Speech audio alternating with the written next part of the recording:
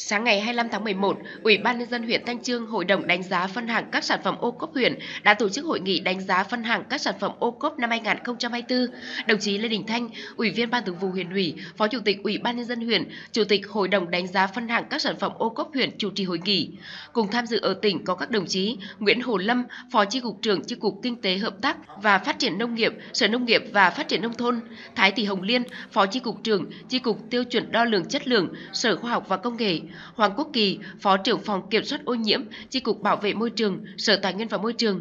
Theo đó đợt này, huyện Thanh Chương có 8 sản phẩm đăng ký sản phẩm đạt tiêu chuẩn ô cốp. Đó là bánh đa làng Vịnh ở thôn Tường Đình, xã Đại Đồng, trứng gà Thiên Phương ở xóm Nam Thượng, xã Ngọc Sơn, trà xanh truyền thống công ty trách nhiệm hữu hạn chè truyền thống ở xóm Trường Sơn, xã Thanh Mai, bánh cà Hà Vương ở xóm 2 xã Thanh Lương, nhút Hiếu Thuận ở khối 5A thị trấn, tinh bột sắn dây nguyên chất của gia đình chị Trương Thị Thương, tinh bột nghệ nguyên chất và viên tinh nghệ mật ong Thương Trung ở khối 3A thị trấn.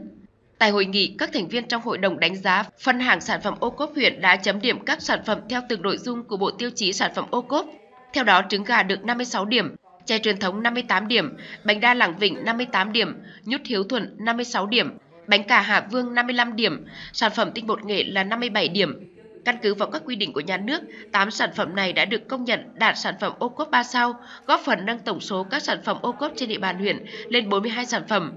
Kết luận hội nghị, đồng chí Lê Đình Thanh, Ủy viên Ban Thường vụ huyện ủy, Phó Chủ tịch Ủy ban nhân dân huyện đã đánh giá cao chất lượng mẫu mã của các sản phẩm ô cốp, đề nghị trong thời gian tới cấp ủy chính quyền các địa phương cần quan tâm hơn nữa đến các sản phẩm ô cốp này, đồng thời tạo điều kiện thuận lợi nhất để các hộ gia đình phát triển bền vững. Cùng với đó là tăng cường công tác quảng bá, giới thiệu các sản phẩm trên các sàn giao dịch điện tử để mở rộng thị trường, nâng cao giá trị sản phẩm và góp phần cùng các địa phương về đích nông thôn mới, nông thôn mới nâng cao trong thời gian tới.